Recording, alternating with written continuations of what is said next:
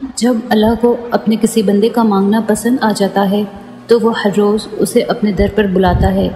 उसका रोना सुनकर भी वो मुस्कुराता है, क्योंकि वो जानता है। वो जानता है कि तुम उस पर यकीन रखते हो। उसकी मोहब्बत पर बहुत मान है तुम्हें। इसीलिए तो उसके हुजूर दामन फैला कर रोते हो और जानते हो, तब अल्लाह तुम्हारी दुआएँ सुनने के बावजूद अता करने में देरी क्यों करता है? क्योंकि वो चाहता है क्योंकि वो चाहता है कि तुम तुम्हें कुछ देर और ख़ुद को मनाता हुआ देख सके। कबूलियत की तो वो पहले से ही ठान चुका होता है, बस तुम्हें सुनने के लिए वक्त बढ़ा देता है। तो फिर उसे मनाते रहो। क्या पता तुम्हारा मनाना ही उसे पसंद आ जाए और वो तुम्हें तुम्हारी चाह से नवाज़ दे। अल्लाह कभी भी तुम्हें बिला वजह गम में मुबतला नहीं करता और ना ही वो तुम्हें बिना मकसद के यहाँ तक लाया है। वो अगर इन बेशुमार लोगों में से तुम्हें दुआ की तौफीक दे रहा है तो जान लो तो जान लो कि वो चाहता है कि तुम उसे मनाओ और वो तुमसे राज़ी हो जाए।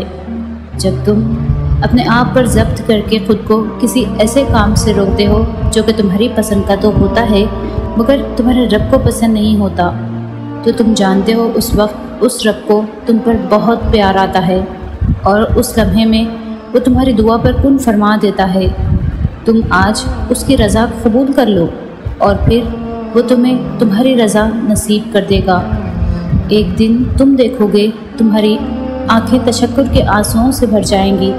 तुम अपनी तकलीफ़ भूल जाओगे और अल्लाह के मोज़ों पर हैरान रह जाओगे। तुम्हारे सब्र का अजर बहुत हसीन होगा। अल्लाह दूर कभी नहीं जाता। जो दूरी तुम्हें महसूस हो रही है, वो दूरी बस एक सजदे से ख़त्म हो जाएगी। तुम सजदा करो और तुम उसे अपनी शहरक से भी ख़रीद पाओगे। और जो दूरी आई भी है, वो उसकी तरफ़ से नहीं, तुम्हारी तरफ़ से आई है। वो दूर नहीं जाता, हम खुद ही दूर आ जाते हैं, अपनी ख्वाहिशात के पीछे भागते भागते। तुम जाओ उसकी तरफ़, मांगो उससे, उसकी रहमत को, उसके करम को, वो तुम्हें खाली हाथ नहीं लौटाएगा। इंसान का अल्लाह से सबसे करीब तरीन ताल्लुक़ दुआ का है, और जो रहता ही दिल में है, उसे इस दिल का पर्दा कैसा? तो फिर उससे मांगो। उससे मांगो जो भी चाहिए, उसके लिए उसे मनाओ।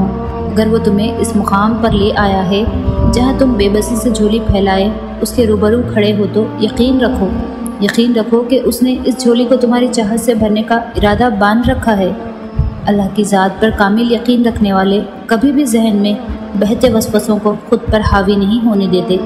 क्योंकि वो जानते हैं, वो जानते हैं कि अल्लाह के लिए नामुमकिन का लफ्ज़ बेमायने है। जब वो किसी काम को करने का इरादा फरमाता है तो पूरी कायनात में कुछ भी ऐसा नहीं जो राह में रुकावट बन सके। यही उसकी शान है कि जब वो नवाजने पर आता है तो इंसानी अखल हैरान रह जाती है।